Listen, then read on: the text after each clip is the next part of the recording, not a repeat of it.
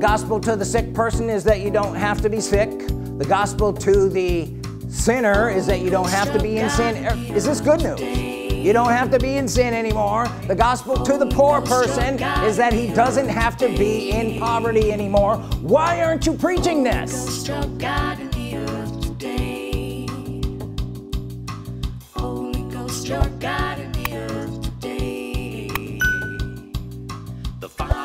Say this message is for me. You know, because you're all going to go, oh, it's for you. Right? We all do that. I do that. I'm sitting there listening. I go, oh, you should listen to this. No, I should listen to it. This message is for me. I don't know if you found this out, but I've learned my best messages come when I'm preaching to me, the choir. Say, I'm the choir. I'm the choir. I want to hear this message. I want to hear this message. Well, you're going to hear it then. Today, I'm going to speak about money. Hey. So before you shut me off, listen. Are you here? Yeah. A lot of people, because they're, they're, like, oh, you're going to preach about money? He's going to take up an offering. Eh.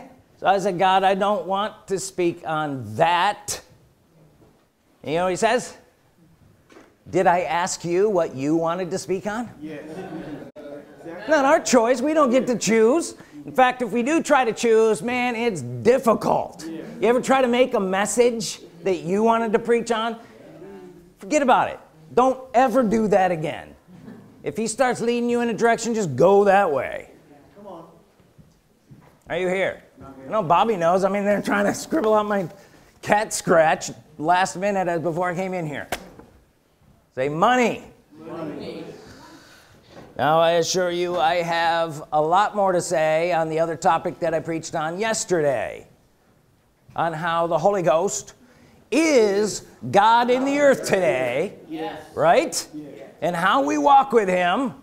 I have a lot to say on that. I've been preaching that message for over 10 years. So you can imagine. But this is not out of line with the Holy Ghost being God in the earth today. today. You know, He is God in the earth today. Amen. And do you know that He is a very, very, very wealthy God? Oh, yes.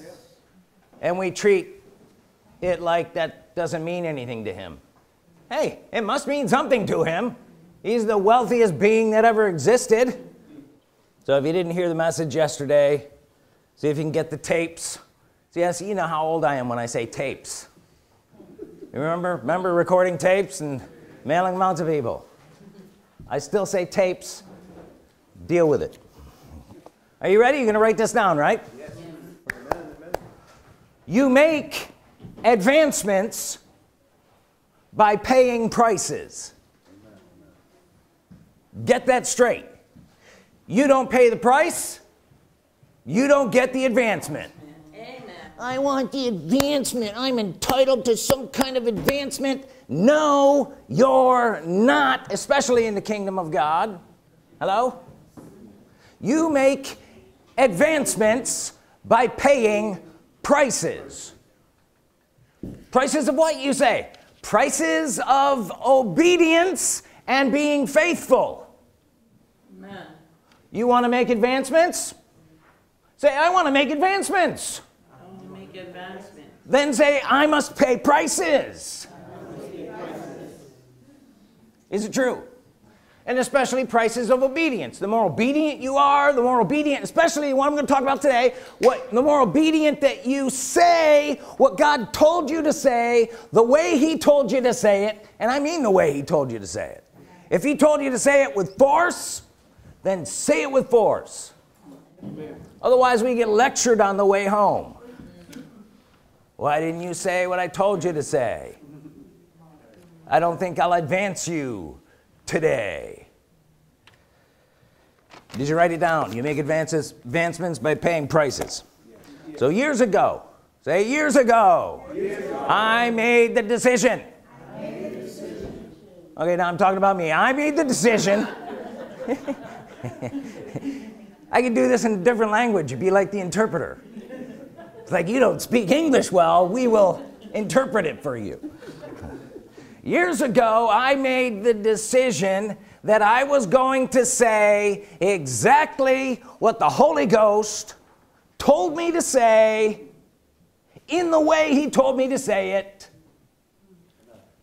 regardless of who was there looking at me with a sour face I've seen them all. And I've been down this road a hundred times. But I'm faithful and he knows it. You know a lot of people don't want to hear the truth. You know a lot of people don't want to hear about money. You know how many people have left the church because you mentioned money? And you're not mentioning money so you can take it from them. That's not the point you're mentioning money because God wants to get some to them say God wants, God wants to get some, get some to, me. to me what you believe about money is how it will respond to you if you say and think and believe that money is evil it will depart from you. Right? You want evil things to depart from you right? Yeah. and you know the church is ingrained in that belief. This will be fun. Relax. If you think and believe and speak about money that money comes from God to you it will come to you if you say and think and believe that money comes from God then it will come to you. Are you here?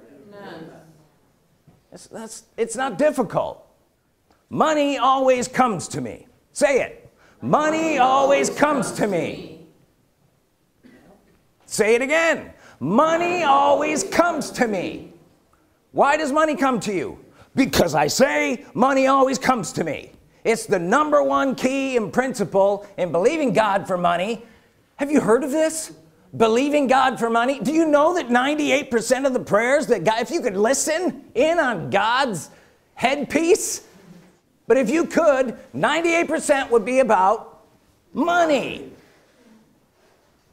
And we got a lot of scriptures that talk about God providing all your needs according to God provides all your needs according to his riches. You don't need money?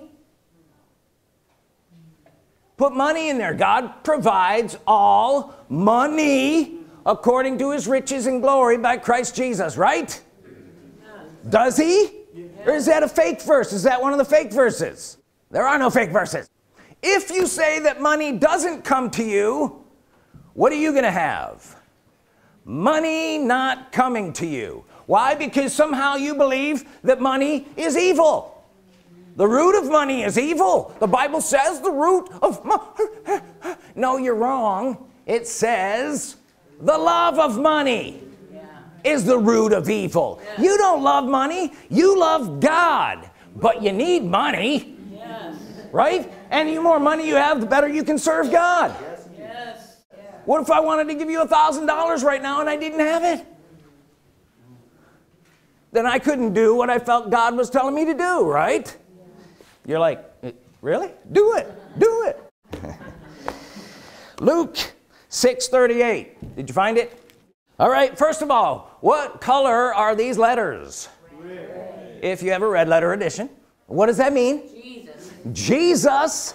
Have you heard of him? Yes. okay I'm not saying it. I'm just going to repeat what Jesus said. Give and it shall be given unto you. Good measure pressed down Hallelujah. shaken together running over shall man give into your bosom. For with the same measure you mete it will be measured unto you. Yes. Jesus said it. It must be true. The fact is every single ministry and minister needs money. Yeah. if your ministry is going to thrive am I wrong? I'm speaking to ministers here am I not? Maybe I forgot where I was. I'm not telling you that you need to drive a golden Cadillac unless that's what you want. Do people even drive golden Cadillacs anymore? I don't know. But you need money. You need money. Money helps fuel what you needs to do yes every minister needs money. Was Jesus I'm keeping it simple. Man he keeps it so simple. Was Jesus in the ministry? Yes. I mean, we base our ministry on his. Jesus was in the ministry. Are you ready to look at this? Yeah. we're in Luke. Go to Luke chapter 4 we read this yesterday. Luke chapter 4 and verse 17 remember this? The Spirit of the Lord or the Spirit Lord is upon me because he hath anointed me to preach, preach. Yes. Spirit Lord came on Jesus and anointed him to first preach. Jesus was first a preacher. Amen. this is the first thing he said. It was his first message. You want the first message Jesus preached? It's right here. It's recorded Spirit of the Lord's on me. He's anointed me to be a preacher basically right? Right? So Jesus was first a preacher. Yes. am I going too fast? No. you've accepted that. Yes.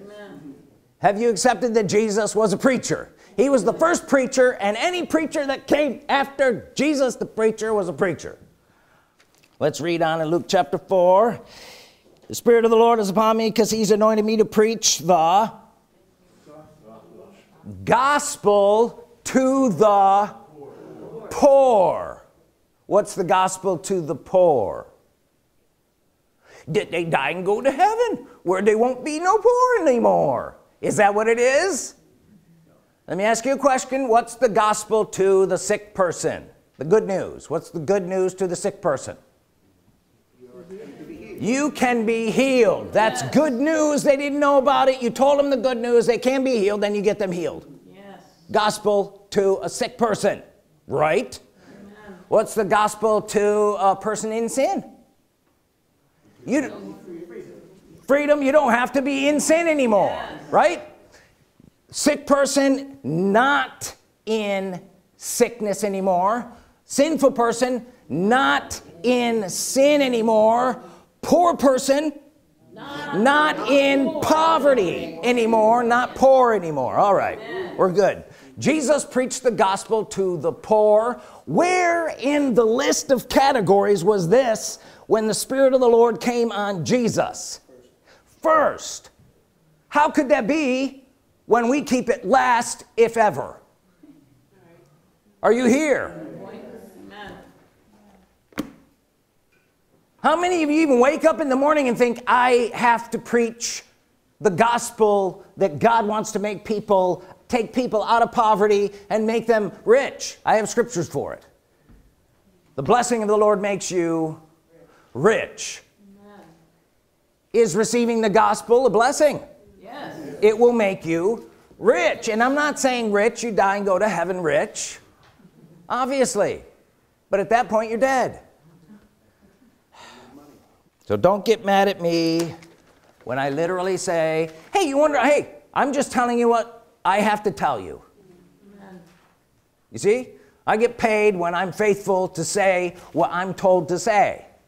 And nobody pays me no man pays me. Say no man pays me, no man pays me. the Holy Ghost pays me. The Holy Ghost pays me. When I'm faithful to do what he tells me yes. to do right?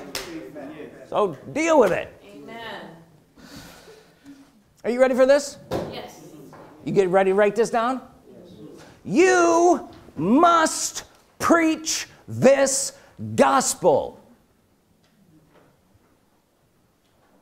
You must preach this gospel. I, I'll, I'll leave it at the end or somewhere else. You must preach this. I'm just telling you, receive it or not. Like I said, I'm, I'm going today, and you don't even have to like me now but I have to tell you you must preach this gospel get it straight I don't want to preach this gospel I don't like the association of this gospel oh you don't like it to be associated with Jesus oh, Okay. It's not going to work out for you. How can they hear without a preacher? How can they believe unless you gave them the words to believe? What? Me giving them words to believe that will cause them to be blessed and come out of poverty? People, the majority of the world and prayers that are out there are about how do I get out of this financial situation? Are you here? Have you prayed this prayer? Yeah. Have you? I have. What's the answer? The gospel. You have the answer. But you, you don't want to touch it because you might be associated with a wealthy preacher. Well, I'll get used to it. Jesus was a wealthy preacher. The Holy Ghost is a wealthy God. You don't want to be associated with the Holy Ghost who's a wealthy God. Our religious traditions have twisted it so much that we can't see him for who he is. You must preach this gospel. Did I say it strong enough? If I could, I would get on your table and shout right down on you. You must preach this gospel. You must preach this gospel. Like one of those, you ever see those lawn sprayers?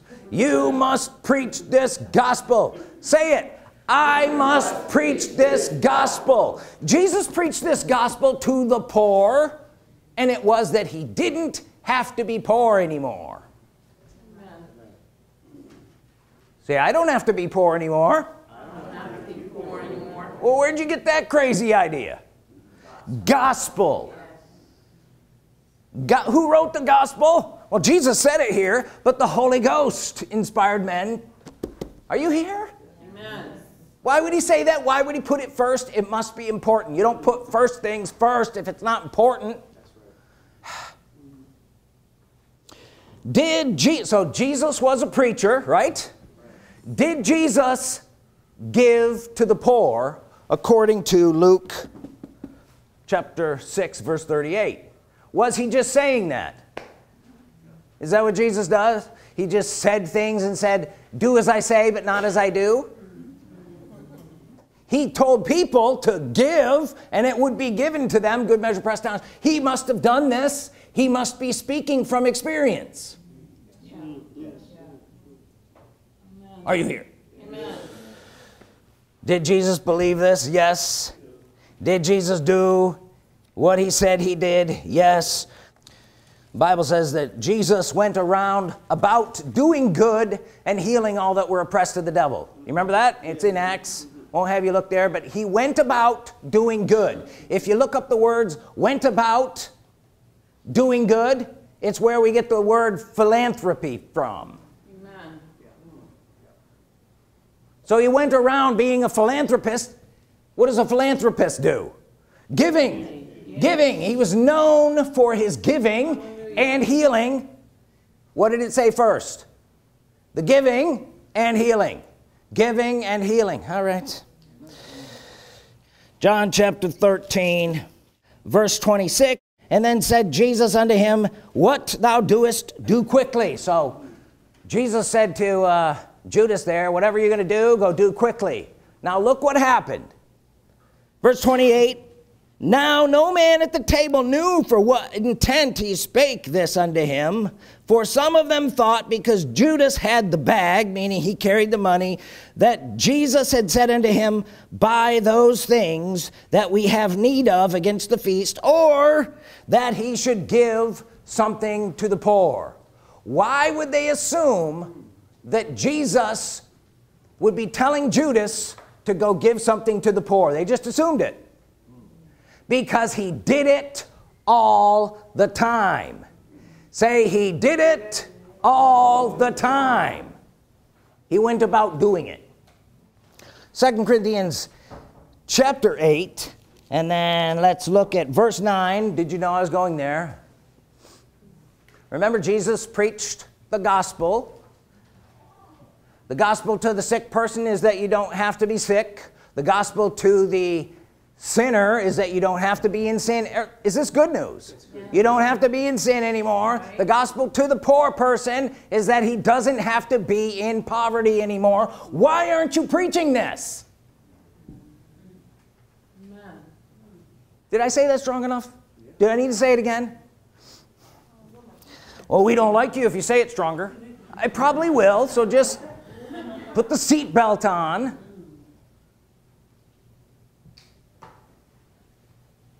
Let's read this right? Second Corinthians 8 9 thank you. For you know the grace of our Lord Jesus Christ right? By grace you are saved right? By grace you are healed yes. right? You know the grace of our Lord Jesus Christ. Woo! let's run around the room. That though he was rich yet for your sakes he became poor that you through his poverty might be rich. Hallelujah. that's a gospel in a nutshell right there. He bore poverty. Did Jesus bear sickness? Yes. Why? So, we so you could be healed. Did Jesus bear sins? Yes why? So we could be sinless. So you can be sinless you can be righteous right? Yes. and walk without sin. Did Jesus bear poverty? Yes. Why? So I could be rich. So you could be rich. Get it straight or rip it out of your Bible and go somewhere else. People love it when I come to the church and tell them that. It's the first thing Jesus preached. And we've just kind of shrouded it in religious garbage say religious garbage. religious garbage until it meant nothing. I don't know does it mean anything to you to have your bills paid? Amen. maybe it doesn't. And eh, they call. They make these calls. They leave it on the phone. An extended warranty I think it is. I don't know it matters to me that my bills are paid do you think it matters to the person on the street that his bills are paid? How many of you would go up to them and present them the gospel Jesus did the first thing he said to them?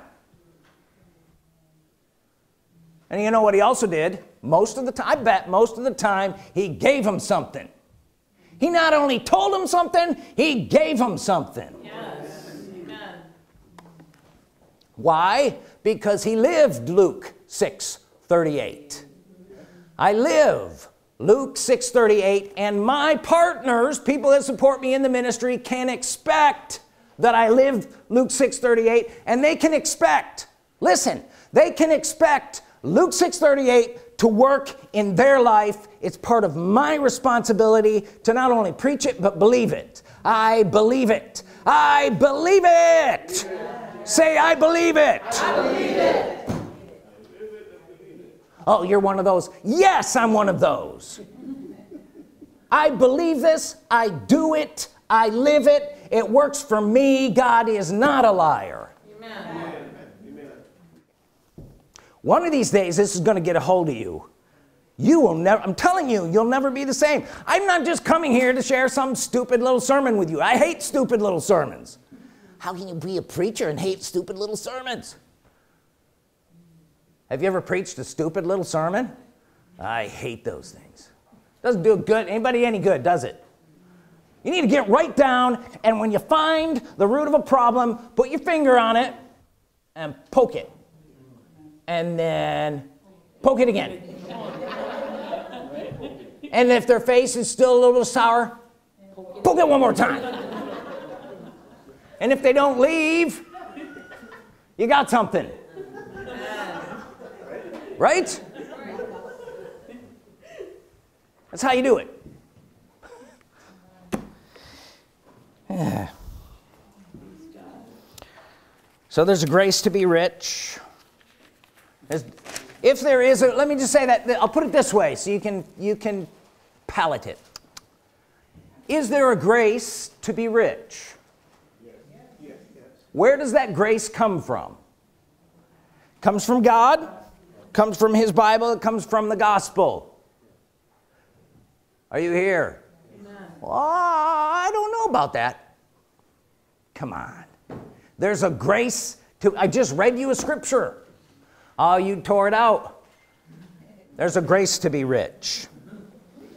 Can you walk in a grace to one degree or another? Can you get better at walking in the grace? Can you I like to take healing for, exa- for example. I don't get sick. I haven't been sick in close to 20 years because I've learned the grace to not get sick. I just don't receive it. Oh you mean you've never sneezed? Oh no I sneeze. I sneeze big. But if I sneeze and I feel something's coming on me it's trying to come on me I resist I resist the devil and he flees from me. I say it is written devil. By Jesus stripes I was healed. Sickness cannot stay in my body. And if it persists and really tries to give me the old wham bam I'll I'll work out on that thing for an hour. I tell people this they probably think I'm weird but I'll go and I'll I'll sit in a bathtub with some nice hot water in it because I know nobody's gonna bother me in there. I'm all by myself. And I will say God's word concerning healing because he sent his word and it healed me and delivered me I'll say it. By Jesus stripes I was healed. Sickness cannot stay in my body. By Jesus stripes I was healed. Sickness cannot stay in my body. By Jesus stripes I was healed. Sickness cannot stay in my body. And at some point in that I'll keep doing it. All of a sudden I know I've got it. Yes. whether I feel any different or not I know I have it. That I worked that grace until it works for me right? What about this grace give and it shall be given unto you. Good measure pressed down shaken together running. You got to work it. You have to work it. First you have to do the give but then there's some work to get it yes. to produce for you. Listen am I shouting too much? Sometimes if you yell too much they stop listening. I'll talk softer. Listen. You have to get this working for you. If you want to fulfill what God's got you to fulfill does God have anything for you to fulfill? You must get this grace working for you. One of the ways we have an advantage here as preachers we can preach it. We must preach this message right? Mm. Faith comes by hearing hearing by the word. So we know Jesus preached it we know Jesus gave to the poor. We know that we are responsible to do these things for ourselves. Let's read it again. Luke chapter 6 verse 38 the first word is give and it the thing you gave shall be given to you. Good measure pressed down shaken together running over shall men give into your bosom. With the same measure you mete it shall be measured unto you. You think I've ever said that before I say it a lot. Why would I say that a lot? Because I do it and I'm working the grace. If you don't work the grace it don't work for you.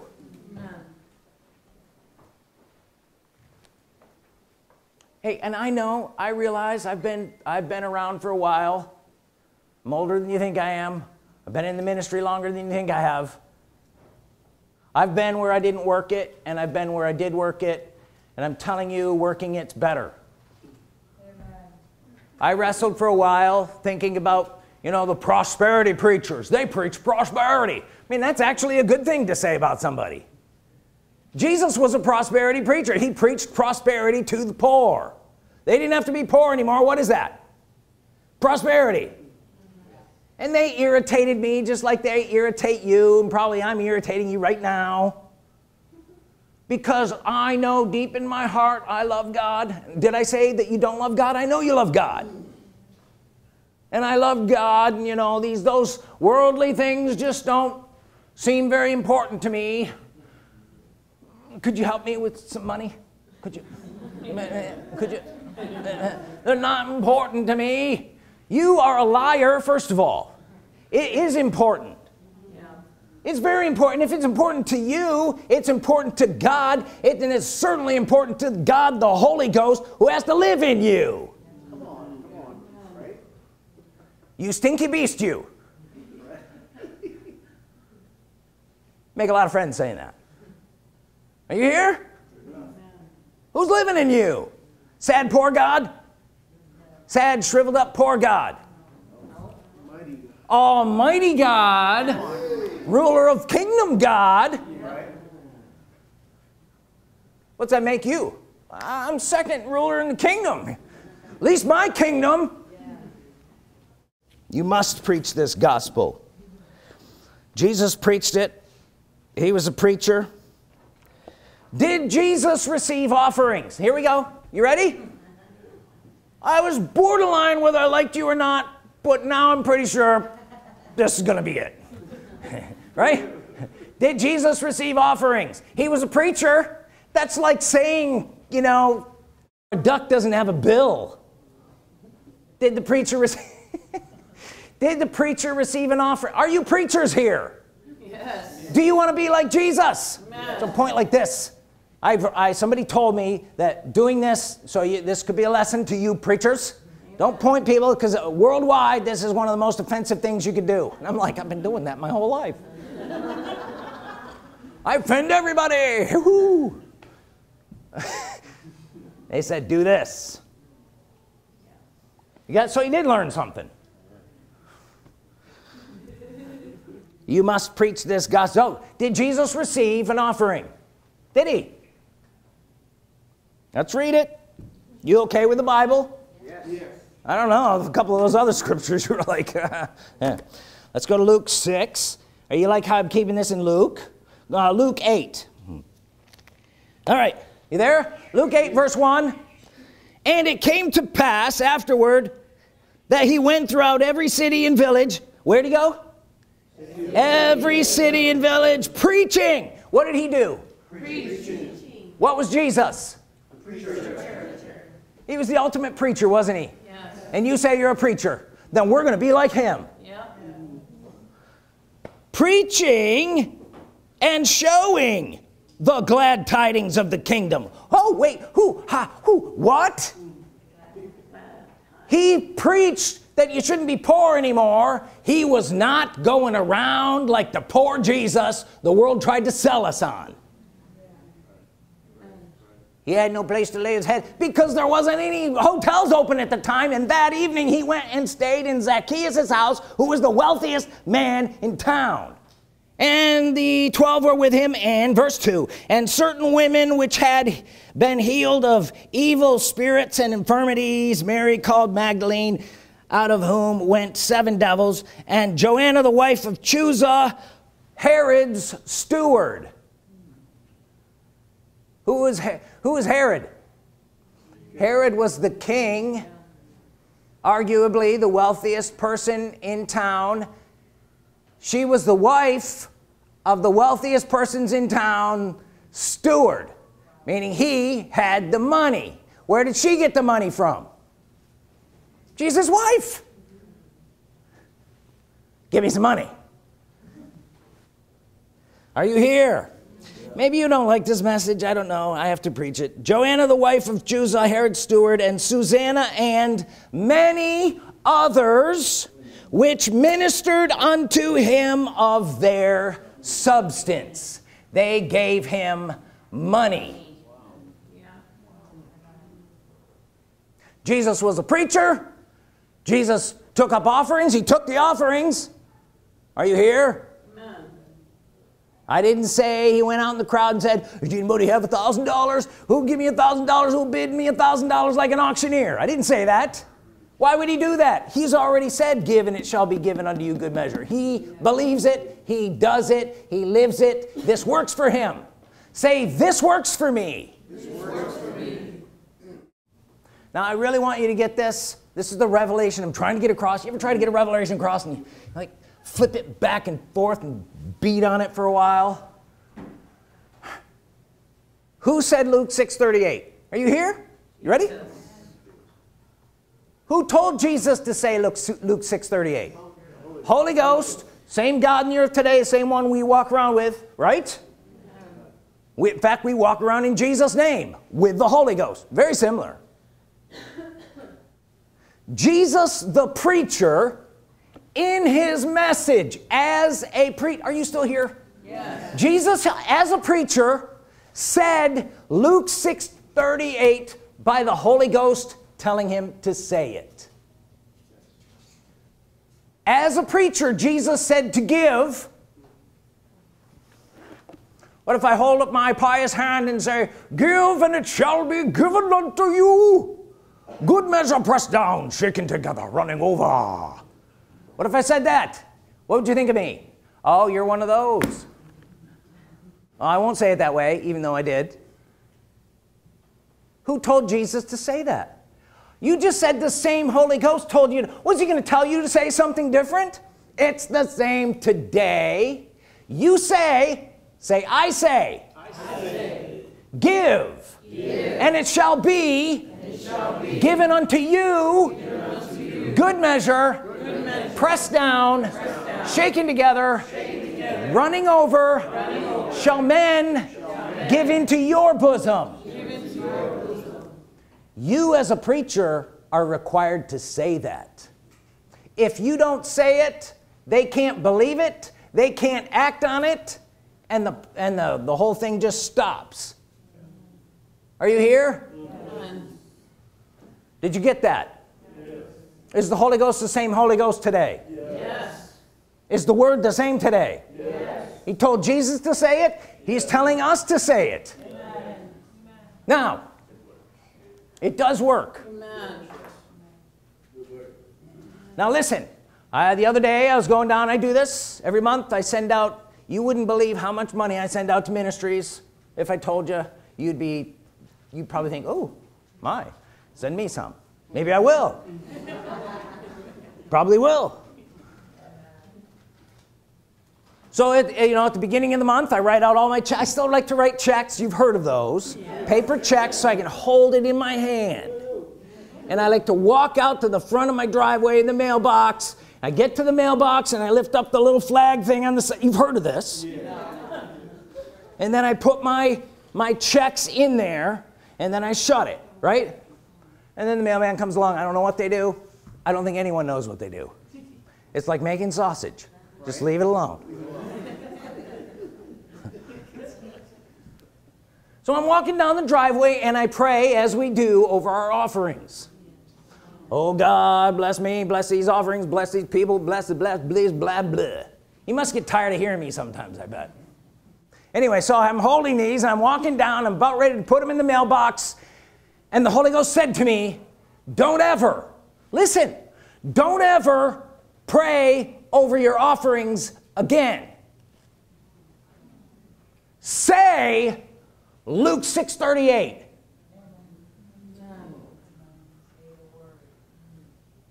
what do I say? So I'm like oh, oh ouch ouch ouch. Could you be a little more nice when you say it right now what do I do when I put my offerings in I didn't stop giving the offerings I say I give and it's given unto me good measure pressed down shaken together running over men given to my bosom Holy Ghost told me to say it Amen. same Holy Ghost told Jesus to say it Amen. same Holy Ghost isn't going to tell you anything different. Did he tell Jesus to say it He did. did. Jesus say it yes. you want to be like Jesus yes. yeah so say it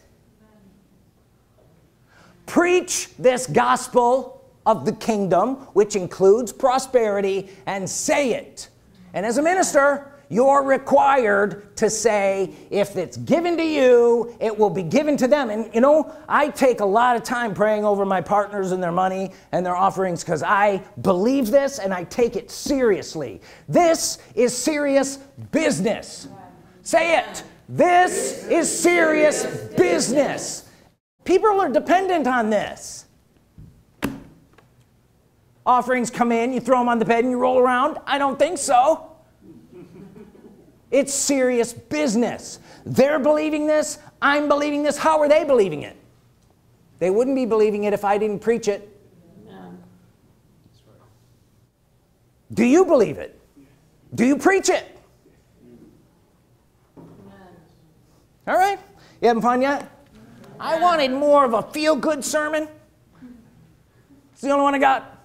You invited me back I'll say it again you must preach this gospel. Which if you're going to preach this gospel you must know this gospel and believe this gospel. Do you believe other parts of the gospel like it's literally every part of your fiber of your being? All I have to do is like bump into you and it just comes out? What's that mean? You believe it.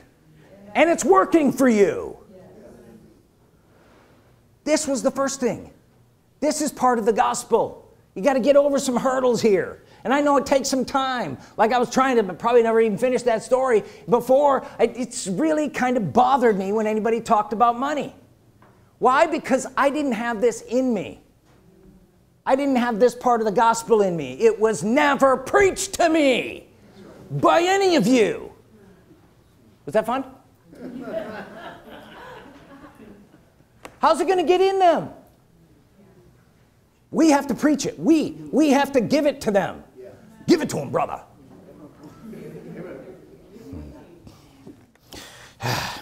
So Jesus received offerings. We see that Jesus was a giver. He was known for giving giving.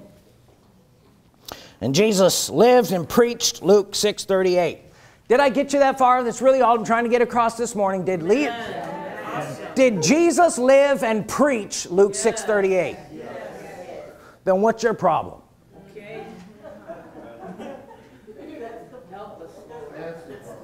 Yeah that's the problem. Now think about this. Think think about this. Jesus as a preacher took up an offering and said this if you give it'll be given to you good measure pressed down shake who, who better to give to than Jesus or God's servants? When I see a servant of God and they're doing good give to them don't miss an opportunity and I'm not telling you to give me anything. I'm not honestly did any of you think that? I was trying some some people think that. I'm going he's going to take up an offering. He's winding it up. He's winding it up. He's going to do it. Hey I don't need anything because I give and it's given unto me. Good measure pressed down shaken together running over men giving to my bosom my God supplies all my needs according to his riches and glory by Christ Jesus. The blessing of the Lord makes me rich adds no sorrow with it. God gives me power to get wealth. The living God gives me richly all things to enjoy. You can't poke me without one of these verses coming out. And I preach it and I live it and I enjoy giving more than anything else that I think I could think of. The bigger the check the happier I am. Until I walk back in the house and I go what did you just do?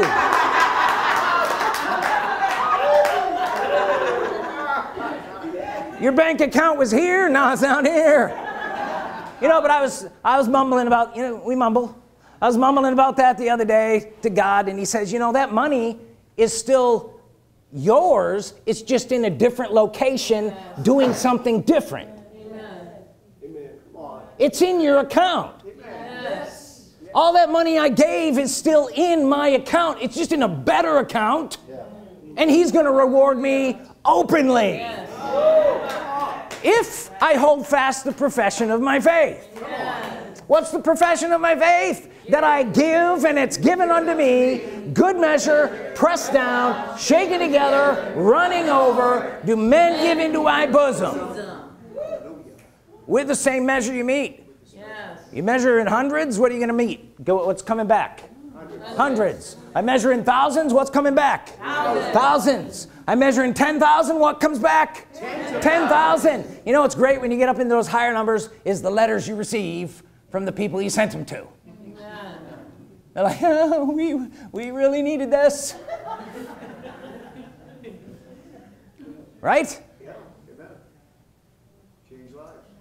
changes lives. Glory to God.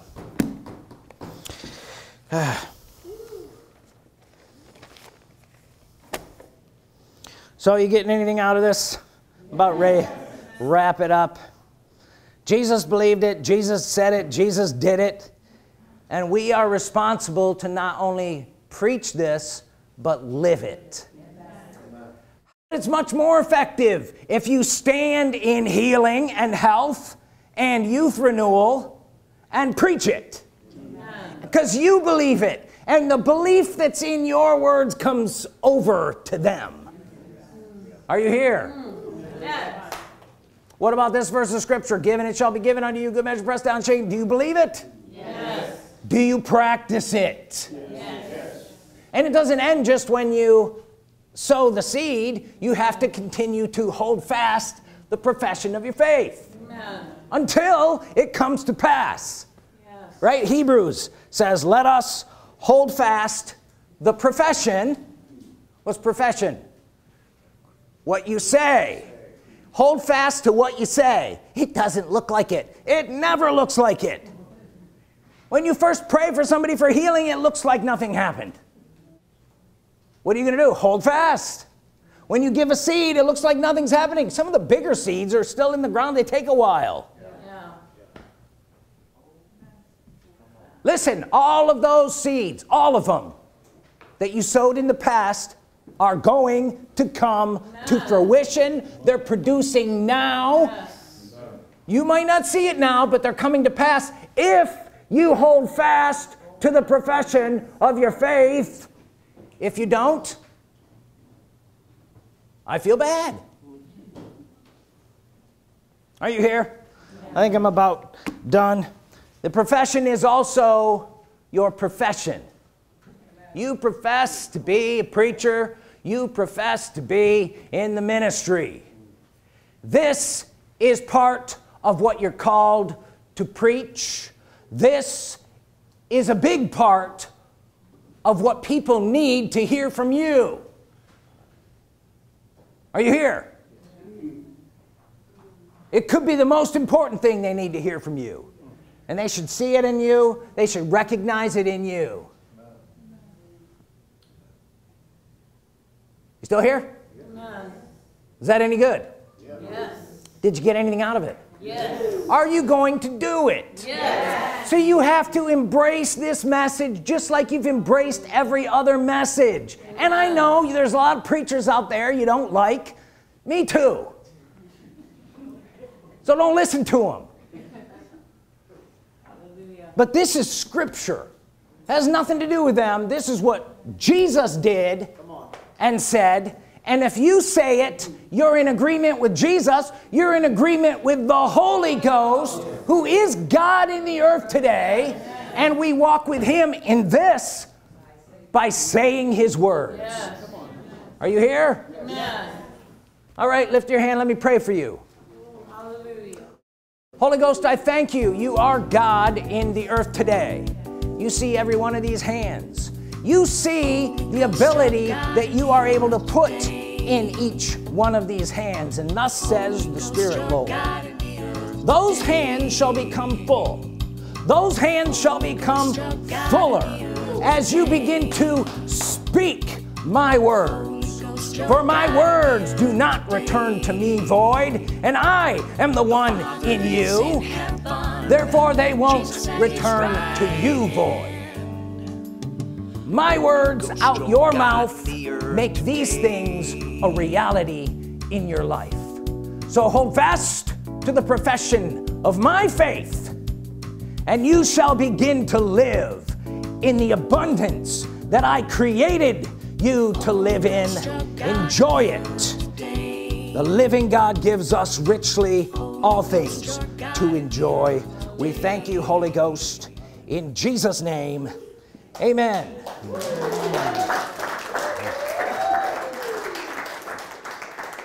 Thank you, sister.